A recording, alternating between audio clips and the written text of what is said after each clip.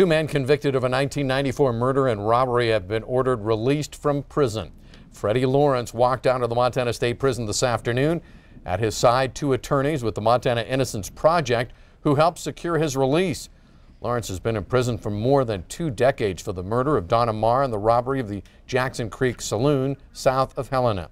Last Friday, a judge overturned that conviction, clearing the way for the release of Lawrence and his co-defendant Paul Jenkins. MTN's Dennis Carlson has more tonight.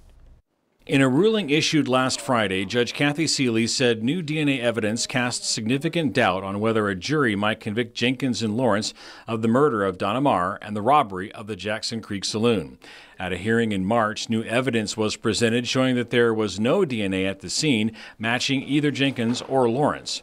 However, DNA did match that of David Nelson. Nelson, a known criminal with a history of violent kidnappings and robberies, is currently serving prison time for a double homicide in Deer Lodge. According to Judge Seeley's order, both Jenkins and Lawrence are to be released on their own recognizance, with Lawrence set for immediate release and placed in the custody of the Montana Innocence Project.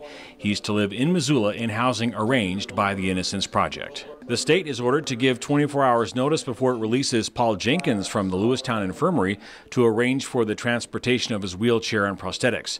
Jenkins, who suffers from severe diabetes, is to remain in Montana and live with his daughter. As for whether or not both defendants will face another trial, in a statement released Tuesday, the Department of Justice says no decision has been made in the case. In Helena, Dennis Carlson, MTN News. And Dennis tells us late this afternoon that he learned that Paul Jenkins' family is on their way to the Lewistown Infirmary to pick him up and to take him home.